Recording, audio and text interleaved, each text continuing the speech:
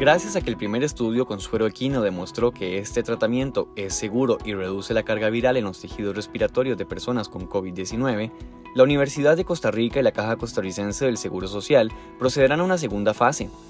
En esta, se evaluarán las dosis óptimas para lograr una mejoría clínica en los pacientes.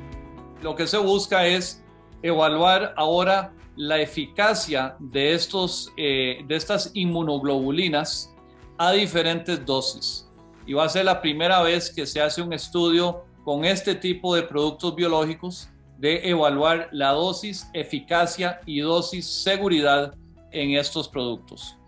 Para el segundo ensayo clínico, se trabajará con 156 personas mayores de 18 años hospitalizados en las últimas 24 horas y con menos de 10 días de haber presentado la manifestación de síntomas.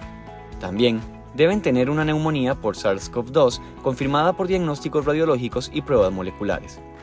Los participantes eh, van a estar distribuidos en cuatro grupos. Eh, esos cuatro grupos, hay un grupo que es el grupo control, que va a ser un grupo que le llamamos y que va a recibir la aplicación de un, de un placebo. Y los otros tres grupos van a recibir por una sola ocasión una dosis que va a corresponder a tres grados de dosis, 12 miligramos por kilo peso, 30 miligramos por kilo peso y 56 miligramos por kilo peso.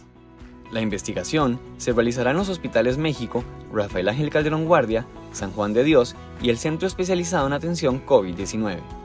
Para el segundo estudio clínico, la Universidad de Costa Rica, además de proporcionar el medicamento, contribuirá con el transporte de las muestras de los pacientes y con algunos exámenes especializados como las determinaciones de los niveles de anticuerpos humanos y equinos contra los antígenos virales. La UCR también apoyará con el monitoreo de la calidad de los datos, además del servidor informático para almacenar los resultados. Estamos aprovechando 50 años de experiencia en, el Instituto Clodomido Picado en el desarrollo y la evaluación y aplicación de sueros antiofídicos para usar esas mismas capacidades para desarrollar nuevos sueros anti-SARS-CoV-2.